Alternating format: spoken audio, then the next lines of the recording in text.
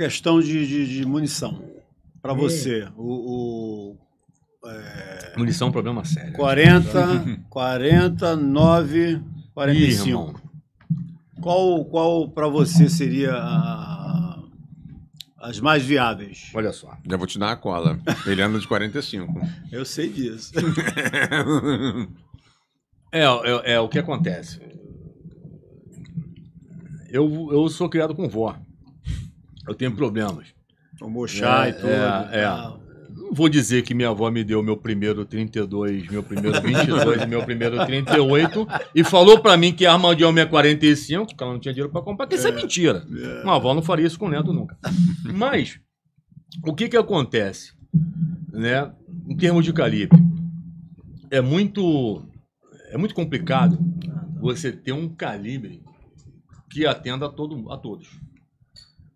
A todos os policiais, a todos os militares, porque existe uma peculiaridade é, do combate militar, onde você tem você tem regras internacionais que você não pode utilizar munição expansiva ponta oca, né? São as convenções aí de Genebra por aí afora. E aí você tem que utilizar munição ogival. Por isso que as Forças Armadas também elas dosam os calibres.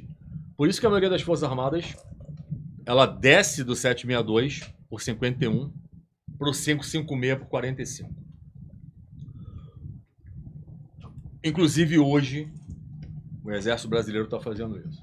Por isso que no passado vários países dos Estados Unidos e o Exército Brasileiro até antecipadamente ele sai do 45 ACP para o 9mm. 45, né? É, ponto centésimo de polegada. É 11,4 milímetros. Tem 11,4 milímetros em relação ao 9. Peso de projétil é outra história. Você tem um projetil ogival do 11,4 milímetros, que é o ponto 45 centésimo de polegada, ACP, Automatic Cold Pistol, que é o que funciona no Vietnã. Ponta, 230 gramas. Bota ali. Você tem que passar pro 9 milímetros. Tá. Ponto 38 centésimo polegada. 9 milímetros é 38. Hum. Uma ponta de 124 gramas, que tem mais velocidade. Você pega um 45 com a velocidade de uma carga muito média, muito padrão da 45, é algo em torno aí de 260 metros por segundo, 270 metros no máximo. Né? Tô falando de munição com carga mais P, munição padrão. Você vai para o 9mm, ele bate 340 metros por segundo, 1.224 km por hora, ou seja, rompeu a barreira do som. O que, que você tem mais aqui? Choque hipovolêmico. Mais perfuração, é Mais- mais hemorragia. É isso que eu ia perguntar. Mais perfuração, né? Aqui, você tem perfuração? Também tem.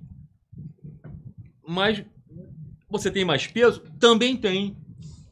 Entendeu? Vai acontecer o choque hipovolêmico? Também vai, porque aqui tem peso. A 45 tem peso.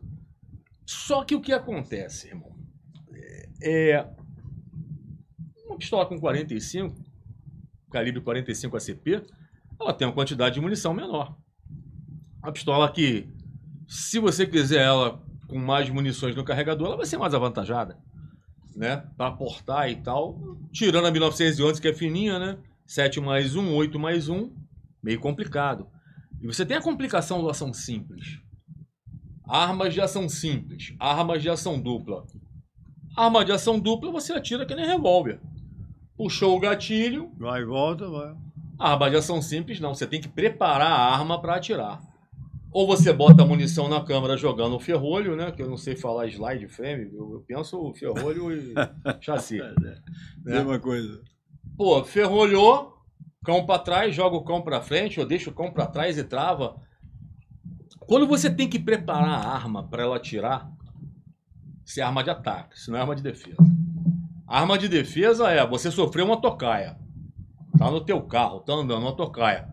Meteu a mão, apertou o gatilho e se defendeu. Claro que o fator surpresa, a vantagem é, do, é de quem tá te atacando. Não, quem viu primeiro. Quem ataca tem uma certa sempre vantagem, sagacidade, tal, enfim. Você tem que se defender. Imagina você no teu carro, você ter que ou botar o cão para trás para atirar, sendo atacado, ou meter a mão na tecla num kit ADC que arma o cão para depois atirar, ou jogar a munição na câmera para depois atirar. Ou então a arma já está travada, você mete a mão, destrava para depois atirar. Qualquer movimento que você faça para depois você apertar o gatilho, essa arma é de ataque, irmão. Você prepara a arma e entra no cenário. Essa arma não é de defesa.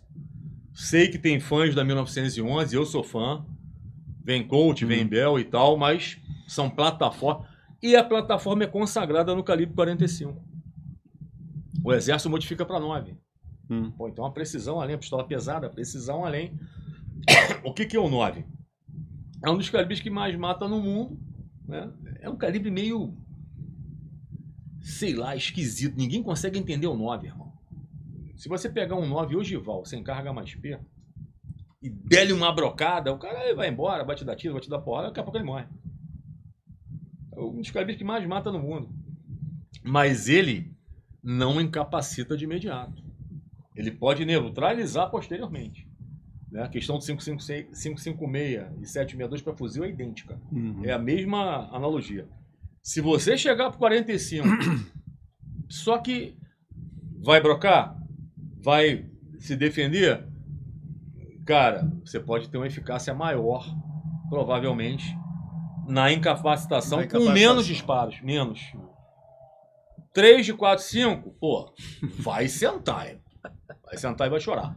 9, não, aí tem um excesso culposo, porque o 9 você Vai ter que dar para, mais. para, para, para, para.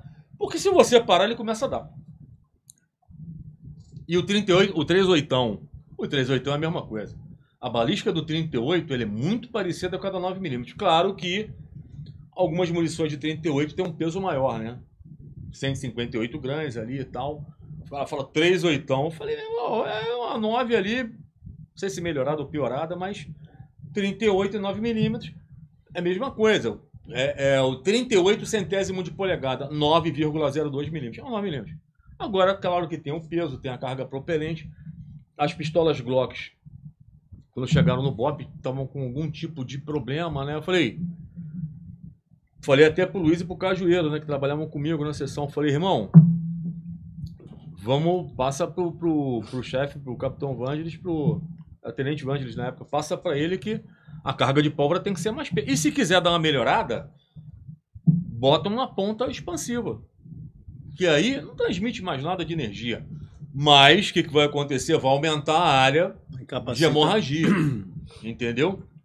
E uma carga de pólvora mais P, você passa dos 340 metros por segundo, os 1.224 km por hora. Tem mais velocidade.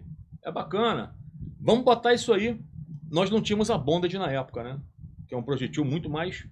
que é a jaqueta é colada no chumbo, então ela abre de forma não descola. Mas eu não sou legista, irmão. Se descolar também, se for cada um por um lado, é é uma ponta oca que ela abre e ela faz o papel dela. Aí vamos fazer um estudo de caso aí. O que a gente tinha de maneiro na época era a, a- tinha as AESP, ESP, expansiva ponta oca e tal, botar uma ponta oca que aumente isso aí com uma velocidade melhor e a Glock começa a ciclar melhor, né? E a Glock é uma pistola exigente. Quando a Glock chega no Brasil em 380, as munições de 380 carga comum não funcionam. Aí sim, tem que se criar uma munição 300 Glock 25. Tem que se criar uma munição 380 mais P, né? Uma carga de pólvora mais pólvora, mais power. E para você aumentar para a Glock ciclar, porque a Glock 25 nada mais é que uma Glock 19 no, em 9 milímetros, né? Com um alivio ali, não é do ferrolho, né? É da, da câmara de reforço ali para ela ciclar mais facilmente, uma mola de repente mais leve, mas não estava ciclando. E aí tem que entrar. Por isso que a galera pergunta, pô, 9 mil, é, 380, eu falei, irmão, vou te dar um papo. 380 é um calibre complicado que um calibre anêmico. Você precisa de uma carga de pólvora maior, você precisa de uma munição mais P. E eu prefiro na 380 uma ponta ogival, Hum. para mais peso. Mais Entendeu? peso. Mais peso, é. Não, não, não, não compensa uma ponta oca, um 380, abrir. Você não, não vai. Não vai muito à frente. Ela Ah, ah. perfura tanto. Então é melhor você ter mais perfuração. Uma ponta ponta de 95 gramas ali, ela ganha mais terreno. Você, não adianta, você nunca vai ter uma incapacitação com 380, né? Arma pra dar tiro em parente e botar um band-aid lá, depois a gente roda, bebe Só, cerveja. só naquela época que foi, foi lançado, né? Porque também não 765, tinha- então, pô, meu irmão, pode botar a família inteira.